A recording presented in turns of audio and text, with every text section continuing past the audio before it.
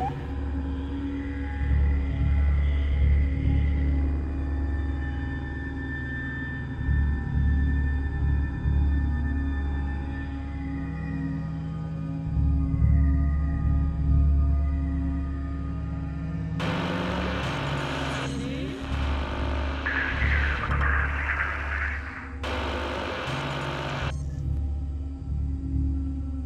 there are essentially two types of reptilians. There's the spacefaring reptilians. They literally fly around in spaceships.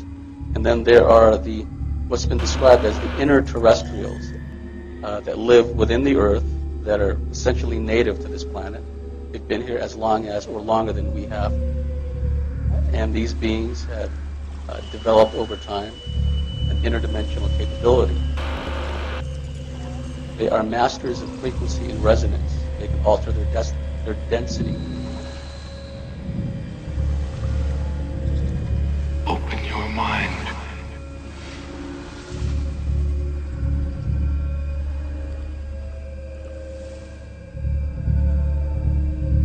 The reptilians have attained control of the surface through a mastery of genetics, through control of the human gene pool, modifying the human race in general and particular bloodlines in particular to the point where they develop attributes, behaviors, and capabilities which advance the reptilian agenda on the surface.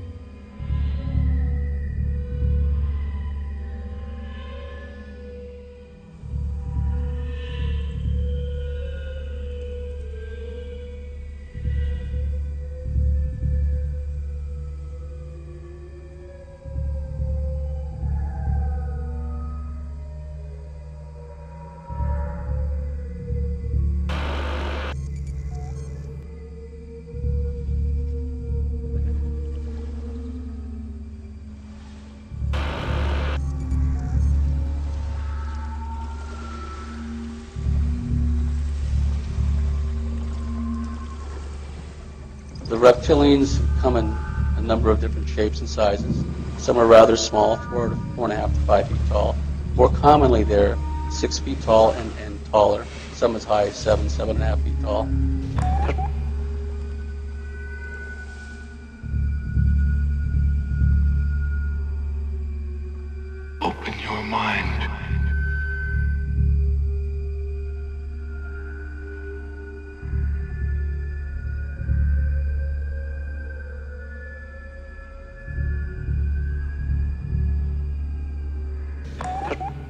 They can be a number of colors, like dark green.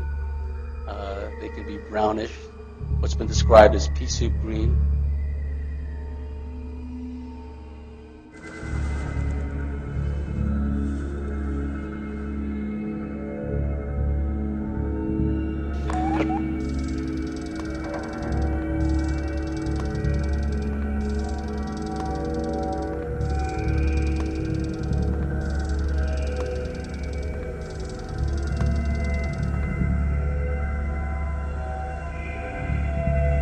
There's a particular type of reptilian species we refer to as the yellow bellies.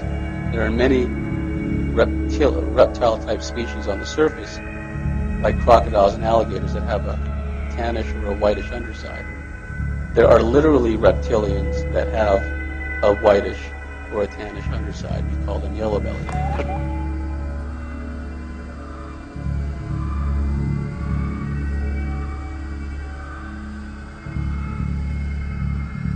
These reptilians over time have developed the ability to, like I said, they can alter their, their density.